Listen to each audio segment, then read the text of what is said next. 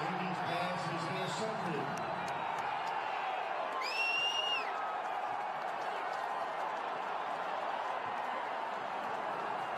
And it's also made by